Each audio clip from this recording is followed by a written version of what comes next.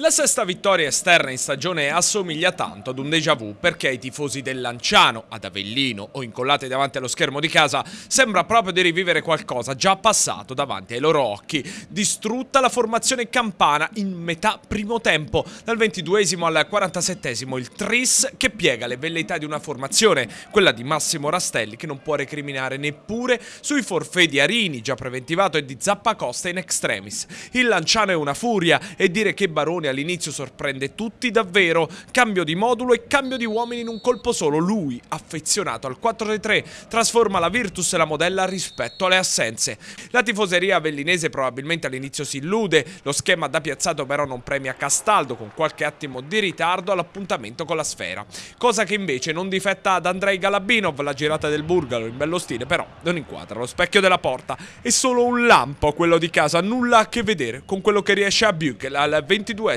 la sponda è di Comi, ma lo slalom e soprattutto il sinistro è tutta roba sua. Primo gol in campionato per l'austriaco, un talento cristallino che oggi da solo fa impazzire. L'11 di Rastelli, perché al 27 quando la sponda stavolta la fa piccolo, che un gigante proprio non è, il mediano è bravo ad approfittare della dormita di De Carli. Il servizio intelligente all'indietro premia proprio Germano che crede all'azione e sigla anche lui il gol numero uno del suo torneo. Partita già in cassaforte forte, Buchel è indemoniato, prova una conclusione che è la fotocopia dello 0-1, stavolta però con meno precisione. Nel frattempo Paghera, per un fallo su D'Angelo, rimedia il primo giallo, non sarà l'unico, ma l'11 di Baroni gioca sul velluto, la ripartenza è staffilata di Comi per poco, non abbattono per la terza volta la resistenza di Terracciano, che però deve inchinarsi quando, minuto 47, a pochi secondi dall'intervallo, Buchel conclude un primo tempo da standing ovation, vincendo il contrasto con Abero e servendo sulla testa di Amenta il più semplice dei palloni da spingere in fondo al sacco.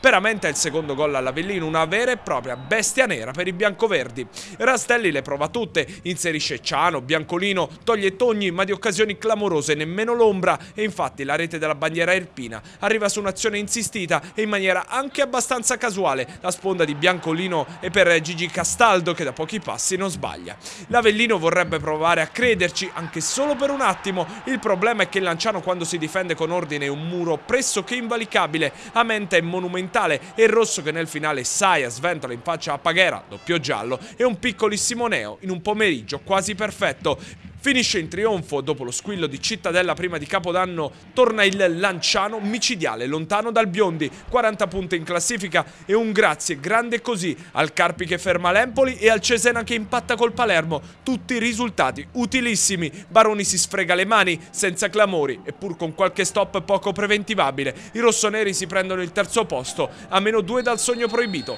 da quella seconda piazza che vuol dire Serie A.